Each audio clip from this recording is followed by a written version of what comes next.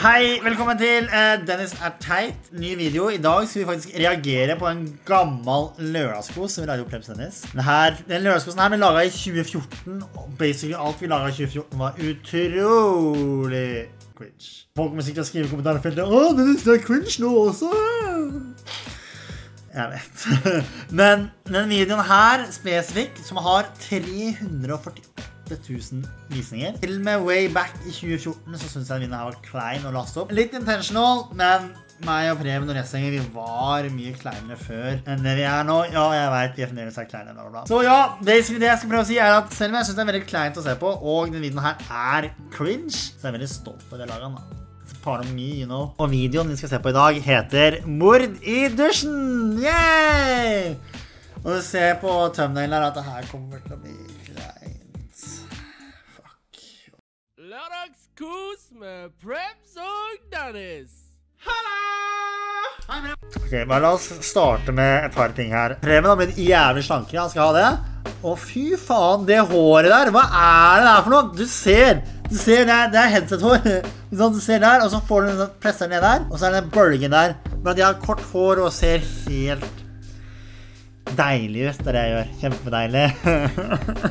Uansett, spørsmål. Jeg beklager hvis jeg sier navnet ditt feil, men Gurvinder har en utfordring til oss. Og det er å se hvem som kan holde ut lengst mens vi hører på Justin Bieber sin sang 'Baby'.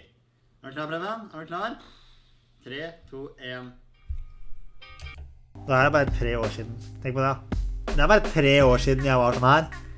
Å, tenk om tre år! Da kommer jeg til å gå tilbake til å se på den videoen her og tenke Hva er det da for noe, Dennis?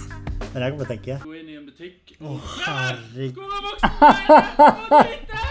Det skal jeg gjøre. Oh my god. Preben! Jeg finner ikke voksenbleiene! Det var vondt inni meg.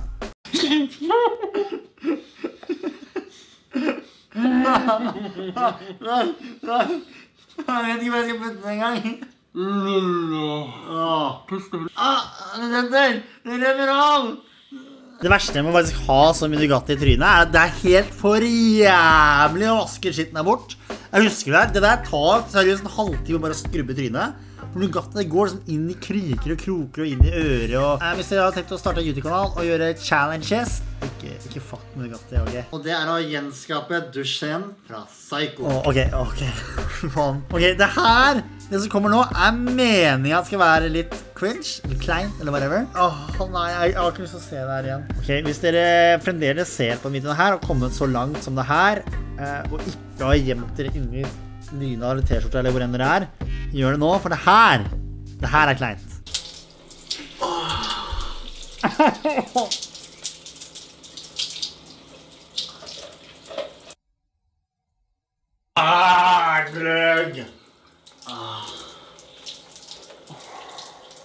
Tone Damli.